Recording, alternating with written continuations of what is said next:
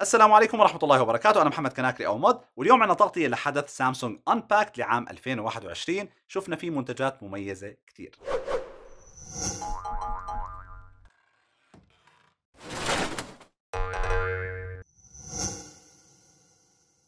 المنتجات اللي أعلنت عنها سامسونج اليوم أولها تليفون ال Z Fold 3 تليفون ال Z Flip 3 الهواتف القابلة للطي من سامسونج زائد ساعة ال Galaxy Watch 4 وال4 كلاسيك وسماعات ال Galaxy Buds 2 نبلش بأول منتج هو تليفون ال Z Fold 3 الإصدار الثالث من تليفون سامسونج ال flagship القابل للطي اللي سعره 2000 دولار تقريبا. بيجي بثلاث ألوان أسود فضي ورمادي سيبوني من تسميات سامسونج للألوان أنا بعطيكم اللون زي ما أنا شايفه.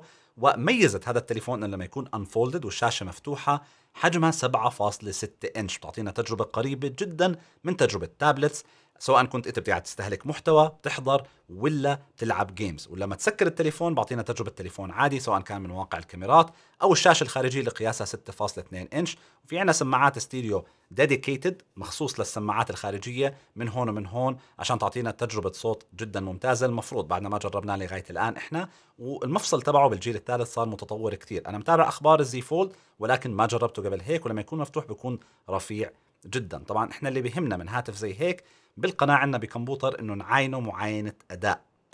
طبعا معاينة أداء معناتها رح نمسك التليفون ونضغطه باستخدام ألعاب برامج إنتاج واستهلاك محتوى برامج multitasking تعدد مهام وبرامج أصلا بتقيس أداء التليفون ونشوف النتائج سواء كانت حرارة ولا فريمات ولا تجربة استخدام بشكل عام رح تكون سلسة ولا لا لأنه هذا التليفون في معالج ال Snapdragon الجديد ال 888 اللي هو من أقوى المعالجات الموجودة على التليفونات مع كرت شاشة ال Adreno 660 و RAM 12 جيجا بايت. هذا العتاد اللي موجود داخل التليفون مفروض يكون خرافي جدا ويعطينا تجربة جدا جدا ممتازة. المعالج بمعمارية 5 نانومتر وعليه 8 أنوية. وبيجي بسعة داخلية 256 أو 512 جيجا بايت وبطبيعة الحال بدعم 5G ومع إنه وضوح الشاشة مش اعتيادي 2208 ب 1768 بكسل ولكنها بتيجي ب 120 هرتز يعني بتشغل ألعاب لغاية 120 frame بالثانية. حجم بطارية التليفون 4400 milliamp hour المفروض تكون كافية ولكن بعد التجربة بنحكي لكم إن شاء الله. الكاميرات الخلفية ثلاث كاميرات كل واحدة 12 ميجا بكسل wide ultra wide و telephoto وكاميرا السيلفي 4 ميجا بايت under display يعني المفروض تكون مخفية وأنتم شغالين application في إكسسوارات اختيارية لهذا التليفون يعني ما بتيجي مع الصندوق لازم أنت تشتريها بس إذا عملت pre-order أو طلب مسبق ممكن تحصلها حسب البلد اللي أنت موجود فيها اللي هي الحافظة الجلدية تبعت التليفون وللناس اللي مشتاقة لتليفون ال Note في قلم ال S Pen المخصوص لل Fold في ال Fold Edition غير ال Pro بيجي Fold Edition مخصوص لهذا التليفون. طبعا تيجي بألوان متعددة وأكثر من حجم أو شكل. وخذوها من تجربة شخصية لحدا جرب أكثر من إصدار من تليفونات ال Galaxy Note. ال S Pen مع إنه اختياري بهذا التليفون لازم تجيبه لأنه تجربة الكتابة مع الشاشة الكبيرة صراحة جدا ممتازة.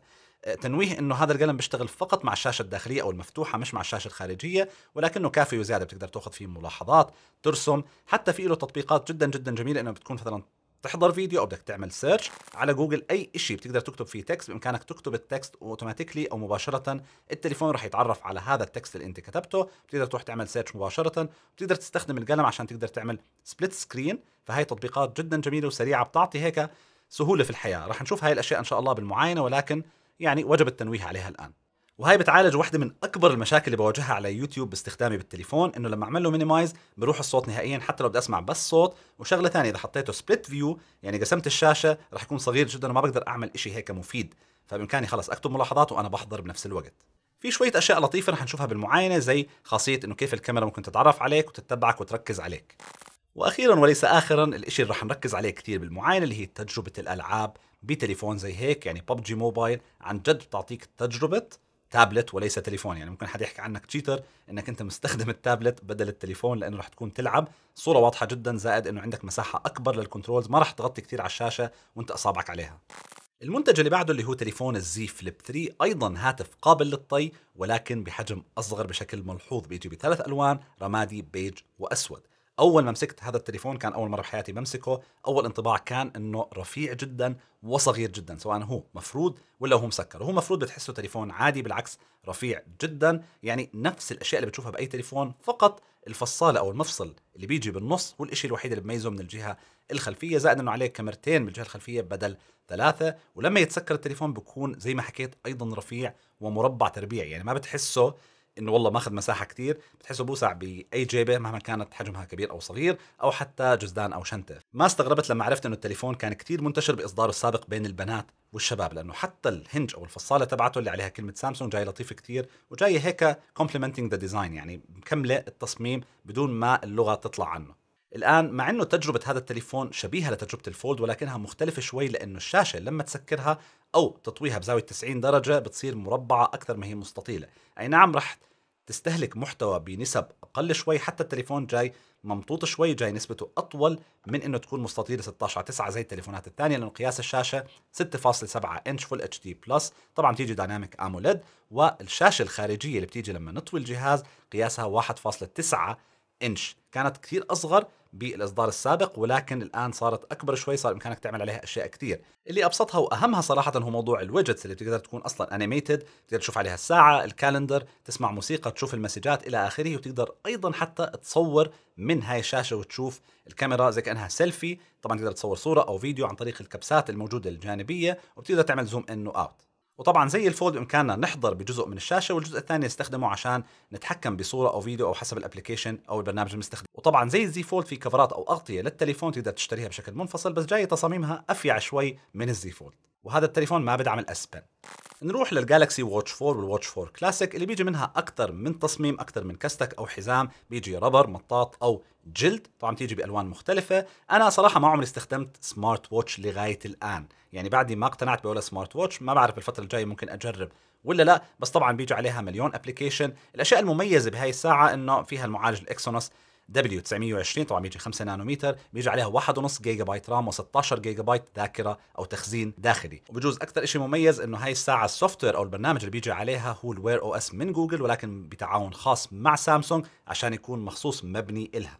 الساعة بتيجي بقياسين ال 44 ملم بتيجي بطاريته 361 milliamp hour وال 40 ملم بطاريته 247 milliamp hour. وكل الموديلات بتدعم الشحن السريع. وأكيد أي smart watch أهم feature أو خاصية فيها هي برامج ال fitness والحفاظ على الصحة لأنه هي السبب الرئيسي اللي بيخلي معظم الناس تشتري هاي الساعات. وآخر شيء نلقي نظرة سريعة على سماعات ال Galaxy Buds 2 اللي بيجي فيها أكثر من خاصية فيها ثلاث مايكروفونات اثنين خارجي وواحد داخلي وبيجي فيها two way woofer و tweeter زائد بتدعم بلوتوث 5.2 وبطاريتها 61 milliamp hour لنفس السماعة و472 milliamp hour لل charging case أو الصندوق اللي بيجي معها. وهيك بنكون خلصنا. لا تنسوا تكونوا مشتركين بالقناة عشان تشوفوا معاينة ال Galaxy Z Fold 3 معاينة أداء بالذات في الألعاب والبرامج المختلفة. بالنهاية شكرا لكم على المتابعة. إن شاء الله يكون عجبكم هذا الفيديو. إذا عجبكم اعملوا like أو إعجاب. لا تنسوا تشتركوا بالقناة. تفعلوا جرس التنبيهات عشان توصلكم أي فيديوهات جديدة منا. إذا عندكم أسئلة ملاحظات أو اقتراحات حطوها بالتعليقات ونشوفكم في الفيديو القادم إن شاء الله. تحية كبيرة جدا من دارك ومني أنا مد. سلام.